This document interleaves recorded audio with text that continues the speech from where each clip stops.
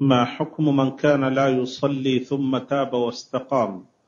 هل عليه أن يقضي الصلوات التي فاتته في السنوات الماضية؟